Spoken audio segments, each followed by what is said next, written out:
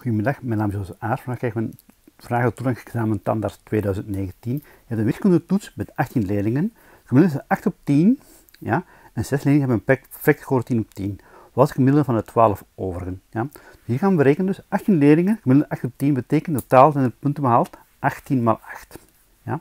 Als het gemiddeld 8 is, heb je 18 x 8 punten behaald. 18 x 8 is samen 144. Ja. Van die 144 44 punten, 10, 6 leerlingen hebben 10 op 10 gehaald.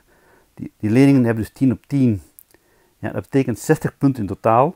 Als je dan 144 min 60 doet, krijg je 84. De 12 andere leerlingen hebben dan 84 punten behaald. Ja, die 84 moet dan gedeeld worden door 12. Ja, dus de andere 12 hebben 84 gehaald. Dus 34, 84 door 12 geeft u 7. En 7 is het antwoord B. Het antwoord op deze vraag is antwoord B. 7 gemiddeld. Dank u voor de aandacht. Gewoon een keer. Dag.